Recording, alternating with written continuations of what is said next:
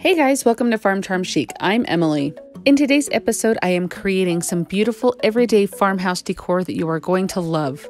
These projects are very easy to recreate, and I am so excited to show them to you. This is also a collaboration with one of my very good YouTube friends. I am so excited to introduce you to her, so stay tuned for that. If you enjoy crafting, DIYs, dupes, hacks, thrift flips, or just creating in general, I would love if you would consider subscribing. And if you do like any of today's projects, remember to hit that like button. But let's get started. I have this bucket from Dollar Tree and I think it's darling the way that it is, but when I got home, I realized that the handle was kind of coming off. So I just decided to take them both off because I didn't really know how to fix that really. So I kind of have an idea that I'm going to do for the handles, but First, I'm going to take these little stickers that are just like these little raised bead stickers, um, and I'm going to run them around the top and the bottom. They're super easy to work with, and you just kind of get your spacing there. They stick very, very well, so you kind of want to make sure when you stick them down that you know where you're sticking them. So they're a little difficult to kind of pull up once they're down, but you can see how easy they are, and if you have to, um, once you get to the other end and you need to take some off, you can just kind of pull them and they just rip apart so fun. And what I'm going to do is we're going to paint over these. And so it will it will look good, I promise. Now, I think these buckets are so cute that the way that they are, but you know, I'm here to kind of give you some inspiration to show you some different ways to decorate things. So I don't want you saying like, oh, the bucket was beautiful before, because I know it was, but this is kind of fun to make it match your decor a little bit more and make it more for you. Now, I'm just using my Crop-A-Dile tool, and I will link that in my description box down below to make those holes just a little bit bigger because I'm going to use some rope to go through those after I get this all painted. So I just go through and I paint this. I actually did one coat of chalk paint here and then I actually went out into my garage and spray painted it because those beads are a little difficult to get the chalk paint to stick to. Now to give it a little detail so you can see that little raised area, I just take some elephant chalk paint, but you could use like mineral or you could even use antiquing wax and just lightly go over those beads and that's just going to make them pop. They kind of blend in if you leave them all white and don't do this step here. It would be fine if you did, but this is the way you definitely notice them. And I like everything weathered and distressed. With what's left in my brush, I kind of just go over the middle portion of this cute little bucket here. I go up and down like the seam and everything, just give it kind of a little bit of an aged look like it's had a plant in it and it's gotten a little bit dirty.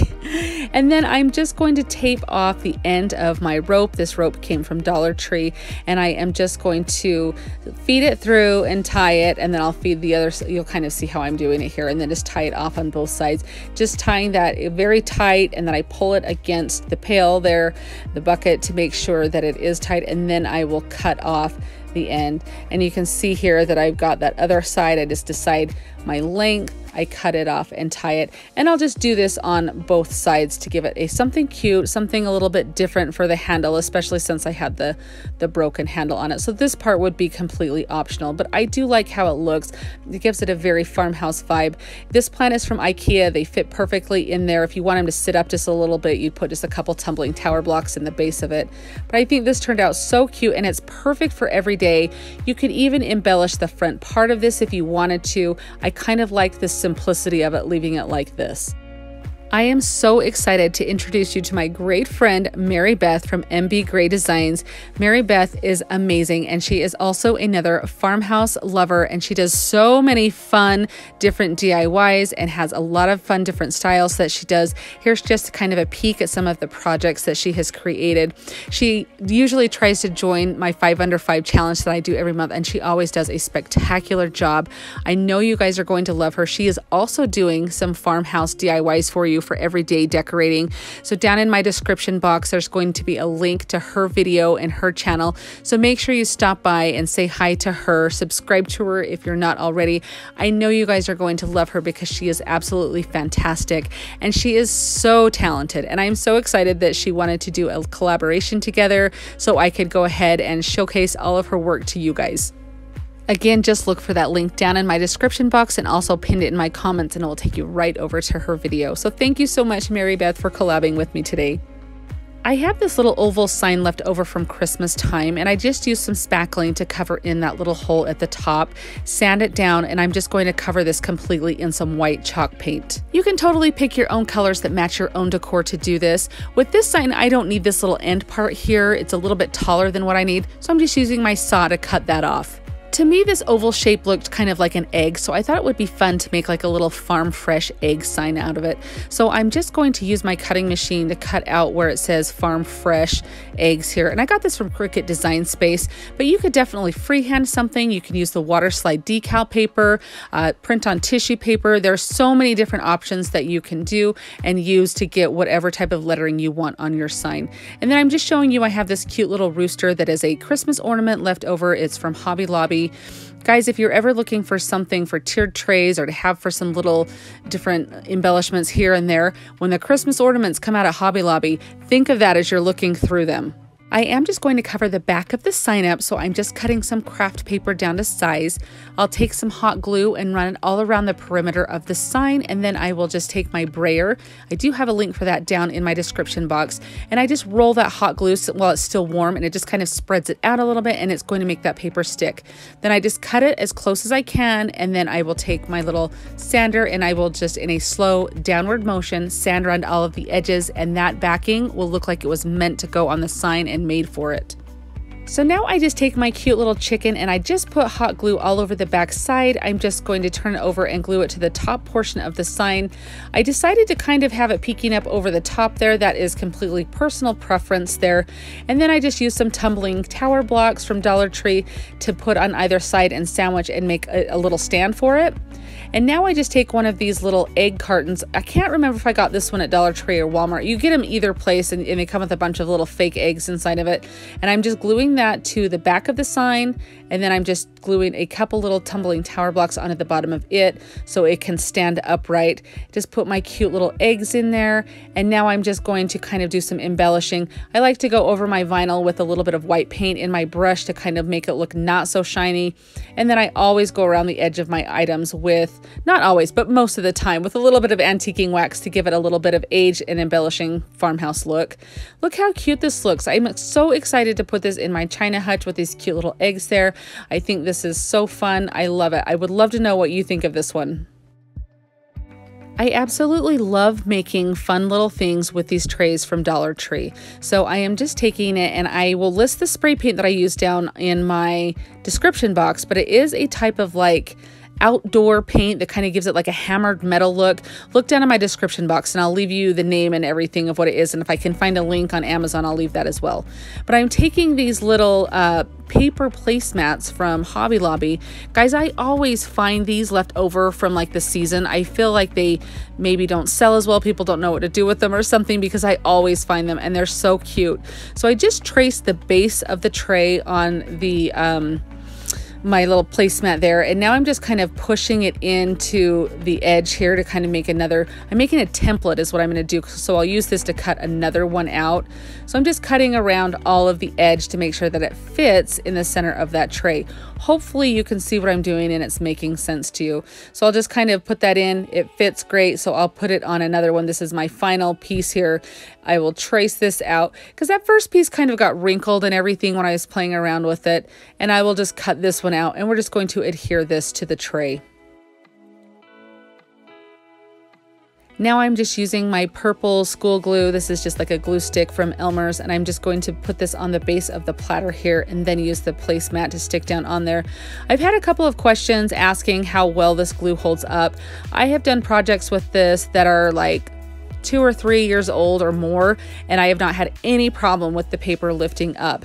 I do recommend using a higher quality. I have used just like the, the Jot or JOT brand from Dollar Tree glue, and it has not held up as well on some projects.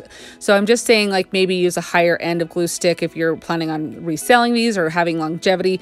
I have not had a problem with this purple school glue, which is why I use it nonstop. But I'm just using my brayer here and I'm just going to smooth out any wrinkles or anything. And then I am just going to take Mod Podge and first go around the edges of the paper to seal those down. And then I will Mod Podge the entire piece of paper. The Mod Podge is just going to help seal this, and I do end up going around the entire tray with it as well. This is not going to be food safe, so I just want to point that out. This is just for decorative purposes only. I have a china hutch that I like to put different dishes and things in, and this is always cute to have this platter size in there as a background. Now, I was using a type of Mod Podge that was called like hard coat or something you can see here. It's just what I happen to have and grab. I probably would just do a normal shiny gloss next time on it. So just fair warning on that. But I think it still turned out really cute and it's going to look absolutely darling in my china hutch. Don't forget that I'm on Instagram also. I love to meet new Insta friends, so I would love for you to come over and say hi, check out my page, and see all the latest projects that I'm working on. I'll be sure and leave a link down in my description box so you can easily find me. You can find these little tags. I feel like pretty much at Christmas time is a guarantee, but you're starting to see them for a lot more holidays or different things at Dollar General or Dollar Tree, Walmart, places like that. So this is just one left over from Christmas time. And look, this paper just ended up peeling off there. I didn't have to spray water on it or anything. That was such a fluke that never happens. So I'm just taking it and I'm going to cover it in completely white chalk paint. Again, the colors are completely customizable to what you would like to do for your home. But I just go ahead and cover front and back. And then I use some painter's tape to do a little bit of a ticking stripe on here. So I just do my wide stripe first. And then rather than doing the littler stripes on either side, I decide to do two little ones along the base. When I do my stripes like this, I like to pounce my paint on with a little amount to seal that edge and then I'll peel the paper off. This helps to kind of seal everything in so you don't have a lot of bleed through. Now I did have a little bit, you can see a little boo-boo on the back there that I needed to, or what, I don't know if it was the back or the front, but I go back in with some chalk paint and cover that right up. So I do sand it down to kind of have it have that little weathered look and I go around all of the edges as well.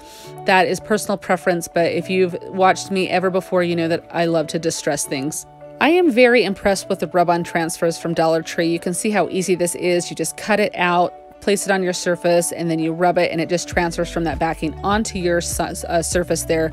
And then I just cut the word gather out on my cutting machine. That would be completely optional. Again, there's different ways you can do this either with rub on transfer words or uh, water slide decal paper.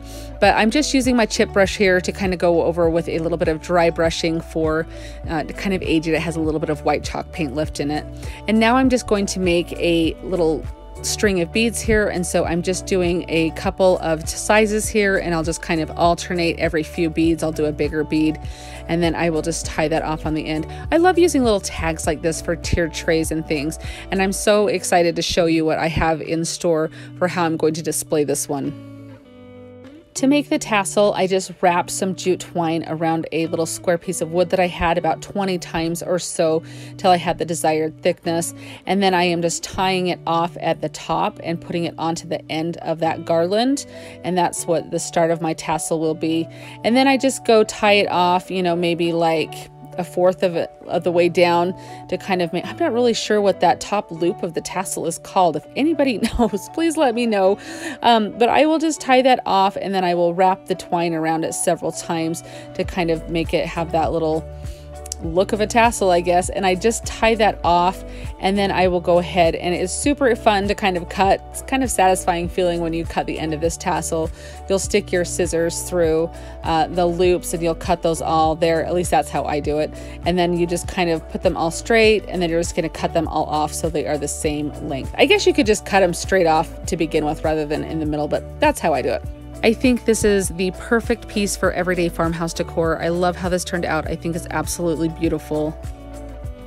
For this project, I am using a couple of square dowels that you can get at Hobby Lobby. I'm showing you here some of these came from Home Depot, Lowe's, uh, anywhere you can get them. And I will put all of my measurements and what I cut them to down in my description box. Uh, and so just keep that in mind that I will show you there all the different pieces that I had, but I will list them all out for you in the description box so you'll know exactly how to cut them and how many you need to do. Every once in a while, as a crafter, you make a project that you absolutely fall in love with, and you're like, this is my favorite project ever. This one is right up there with all of my favorites. I love how this turns out. I'm making a cute little bench that I have seen kind of popping up in my Instagram feed that people have used kind of as a different style of riser or tiered tray type thing, and that's what I'm going to create. So I am taking these two pieces here and I am taking these little shorter pieces it's really hard to kind of understand at this point right now what it what it's looking like or how it's working until I show you, and then you'll go, aha. So I promise. So I just kind of marked about an inch and a half up from the base of those two blocks to glue my little short pieces to. Right now, I'm making like the support for the chair. So you'll be able to tell in just a moment. And then on the other end, I'm just gluing those right up against the end. So just take note of how I'm doing this. It's kind of hard to explain where you'll see exactly what I mean here. So this is where once these have dried a little bit with my wood glue, you can kind of see here when I put them there, it's starting to kind of look like the sides of a chair or a bench. Does that, hopefully that makes sense to you. And then I'm just going to glue these onto both sides. So it's going to look maybe like the number six or something like that here. That's the best way that I can kind of explain it there or a B or something like that. And I just kind of use my clamps and until it gets kind of a good hold there. And then I'm just gluing that other piece together. Um, and then here they kind of stand up. So hopefully you can see now and you go, oh, okay, I totally get it because this is where we are here. So this is really, um, I'm doing that little support beam between the two sides of our bench. This is what is going to hold them together besides the slats that will sit as the backrest and the seat rest on there. And so I'm just kind of eyeballing that into the center. This is very farmhouse. It doesn't have to be super exact. So don't worry. You can kind of, if, I, if you look at my height, I did this 12 inches high. And if you're like, I don't want it that tall, you don't have to do it that tall. And these are just paint sticks, the five gallon paint sticks from Lowe's or Home Depot or wherever you get your paint sticks. And I tape them all together to cut them. And you can just cut them with a miter box saw that you have, like a hand saw. You can have like the, I use my uh, power miter saw that I have, and I'm cutting those down. I cut those down to 11 inches. Again, I will have all of my measurements listed down in the description box in case you want to recreate this.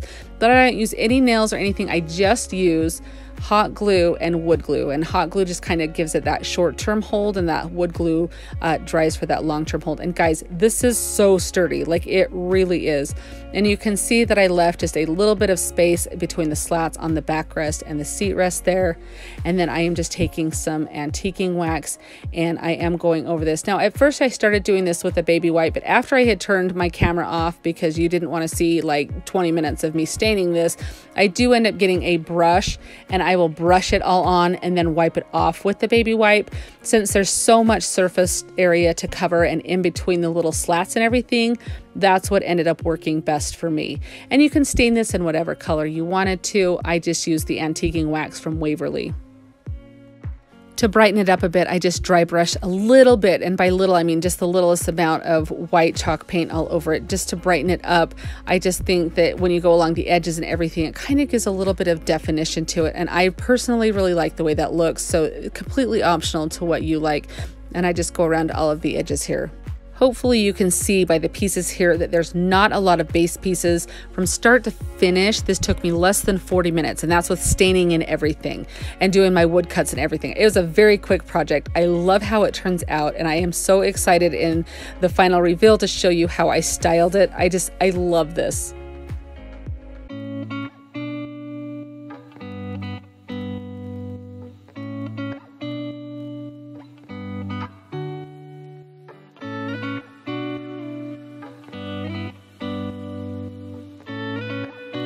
I really hope that you guys enjoyed watching the projects today. I hope that you feel inspired and that you have some great ideas to do some everyday farmhouse decor for your home. What do you guys think of these? I am just in love with this little bench here. I'm going to have so much fun styling this, just kind of like a different take on a tiered tray or a riser. I think for different holidays, little banners to make to put along the little back there. I don't know. I just so many ideas are reeling in my head that I'm so excited. I just absolutely love it. If you're looking for some more farmhouse ideas, which I know you are, remember to click that link down in my description box for Mary Beth. She has some beautiful projects to show you, and I know you're going to love them. And go ahead and tell her hi from Emily from Farm Charm Chic while you're there. Uh, let her know that I sent you over there. She is so fantastic. You guys are going to love her, and she really needs your support, guys. So go ahead and subscribe to her while you're there and watch her beautiful DIYs. As always, I would like to remind you to be safe, be smart, be nice, be happy. Choose to have a good day because you are amazing. Thank you so much, guys. I will see you next time. If you enjoyed the video that you just saw, here's another one that you might enjoy. And as always, remember to like and subscribe. Thanks so much for watching and have an amazing day.